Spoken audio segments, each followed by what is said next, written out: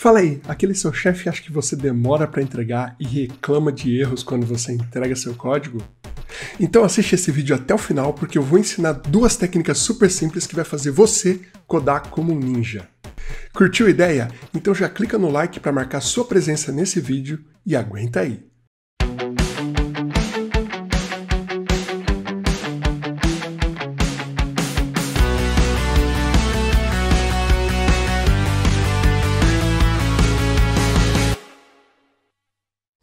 Você sabe o que, que diferencia programadores excelentes de programadores razoáveis? Eu faço entrevistas técnicas há muitos anos no mercado e eu te garanto que uma das coisas que eu mais observo é a capacidade do candidato de organizar o seu tempo. Isso porque a capacidade do candidato de organizar o tempo é crucial, é fundamental para que ele seja efetivamente produtivo. E para te ajudar a organizar o teu tempo e automaticamente aumentar a tua produtividade, aumentar muito mesmo, eu vou te ensinar hoje duas técnicas. A primeira é o time planning.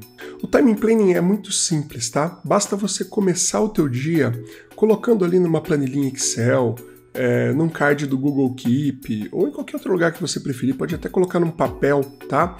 As atividades do teu dia, as, todas as atividades que você acredita que você vai conseguir cumprir no teu dia.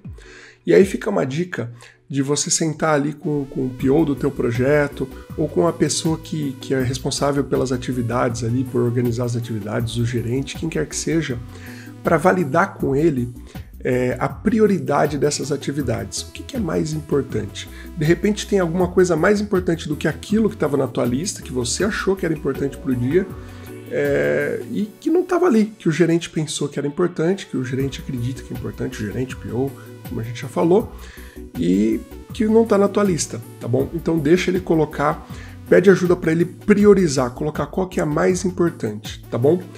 Então daí você volta, organiza essa lista colocando ali todas a, a, as relevâncias, né? Coloca a lista organizada pela importância, tá bom?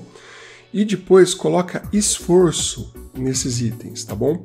Você vai colocar ali qual que é a atividade mais difícil, dá uma nota de dificuldade para as atividades, qual que vai demandar mais esforço seu.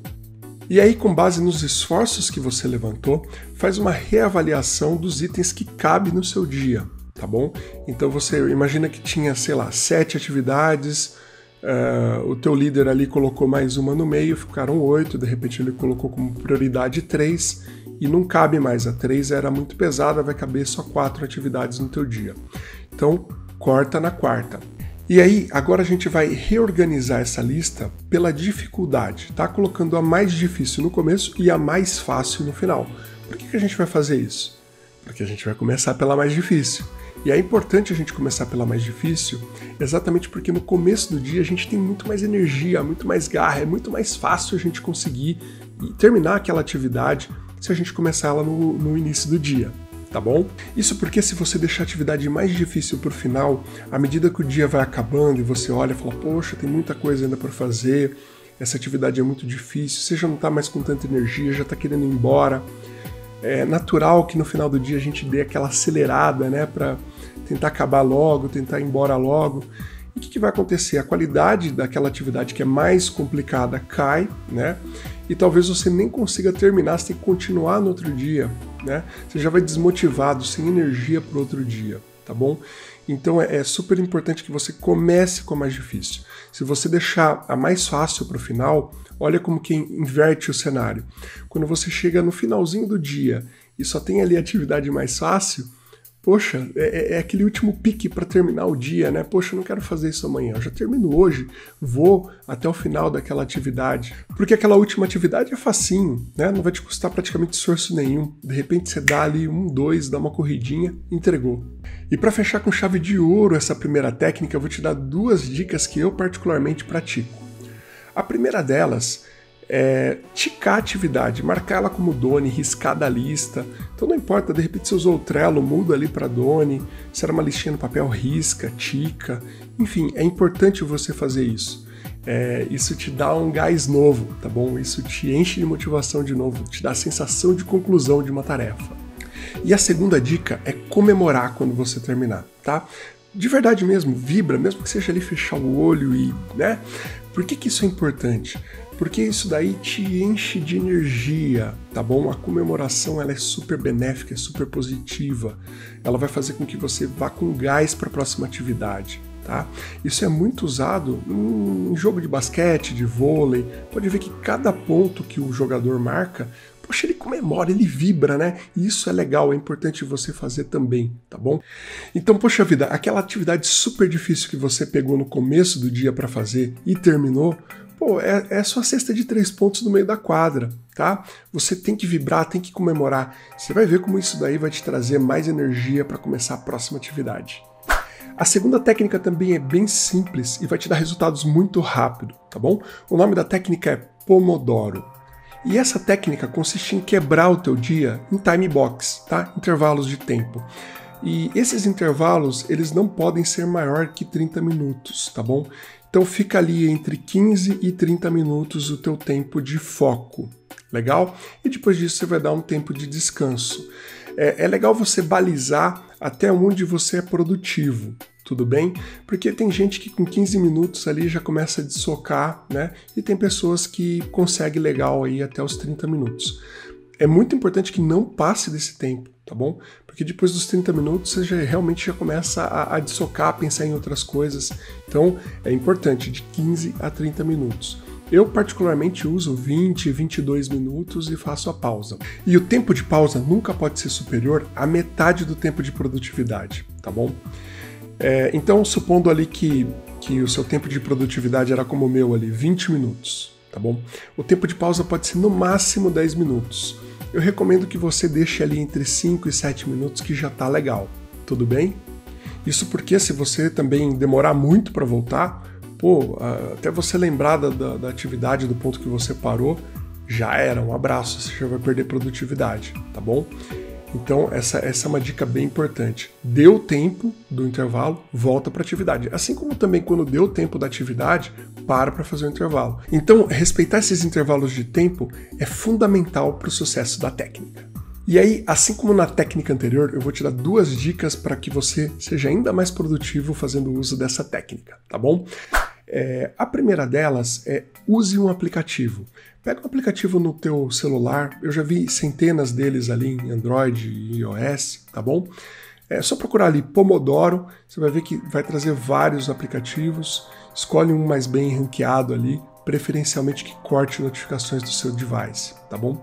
É, é legal que esse tipo de, de, app ele ainda te dá estatística de produtividade, se você cumpriu os tempos ou não. Opte por um que te dê esse tipo de informação que você vai ver como ajuda. Legal? E a segunda dica, enquanto você estiver ali focado, tá? Coloca um fonezinho de ouvido e coloca uma música de forma que o som da música seja maior do que o som ambiente, para que você não tenha interrupções do ambiente, tá bom? Bem como desliga todo tipo de notificação, tá? De celular, de computador, até sai da internet se for o caso, se for possível, né? E mas a, o detalhe da música é importante, legal? A música que você vai estar tá ouvindo, ela não deve ter letra. Esse é um detalhe hiper importante. Porque se ela tiver letra, mesmo que você optou ali por uma música orquestrada, de uma música que tem letra e que você conhece a letra, o seu cérebro vai tentar cantar aquela música. E o seu cérebro cantando junto com, com a concentração ali da atividade são coisas que não vão combinar muito bem, tá bom? Então, se você quer ter foco e garantir que você vai conseguir terminar isso rápido, tá bom? É melhor que você tenha foco total, concentração total. Então, a, a música ela deve ter o, o efeito de acalmar o teu cérebro e de tirar as distrações. Bacana? E fechando a técnica, tá? É importante que as outras pessoas que convivem com você, que contribuem com o teu trabalho, respeitem esses intervalos, tá bom? E você também doutrine essas pessoas. Se alguém for lá te dar um tapinha nas costas e te chamar ou receber um e-mail, é, enquanto você está focado na atividade ali naquele tempo, 20, 30 minutos que você está focado, ignora aquela pessoa, pede um tempinho para ela, ó, daqui a pouco eu falo com você e volta ali pro foco, tá? Tenta cortar ao máximo as distrações. É, depois você vai ter aqueles 5 minutinhos de pausa, né? Naqueles 5 minutinhos de pausa você fala com aquela pessoa, você vê o e-mail, vê a notificação, vai tomar um café, uma água. O importante é foco total na atividade, naquele teu tempo de produtividade, tá bom? E depois você olha o restante, as pessoas que tentaram te parar, notificação, e-mail, etc. Belezinha? Agora, para você realmente ter aquela produtividade ninja, a coisa toda é você combinar as duas técnicas, tudo bem? Então, cria ali o seu timing planning e depois você faz Pomodoro para cada uma das suas atividades. Né? É, repetindo ciclos ali do, do, do Pomodoro, tá? Para fechar cada uma das atividades, né? Faz o tempo ali de, de foco, tempo de pausa, tempo de foco, tempo de pausa, até terminar é, uma por uma das atividades ali que você colocou no time planning. Casou as duas técnicas, fórmula do sucesso com certeza. Você vai codar muito melhor, vai ter mais qualidade, vai entregar mais rápido. Eu até te desafio a fazer um teste. Pega uma semana e trabalha normal, sem fazer uso da técnica, mede o quanto que você entregou e faz a mesma coisa numa outra semana usando a técnica, tá? Mede o tempo fazendo uso da técnica você vai notar a, a, diferença na tua produtividade e na qualidade do que você está entregando. Você vai notar até que as outras pessoas vão falar, vão te dar feedbacks muito positivos. Bacana? Fez sentido para você? Então não esquece de deixar aquele like bacana pra gente, de compartilhar com seus amigos para ajudar eles também e de se inscrever no nosso canal com o sininho ativado para não perder os próximos conteúdos do canal. Bacana? Um forte abraço e até o próximo vídeo.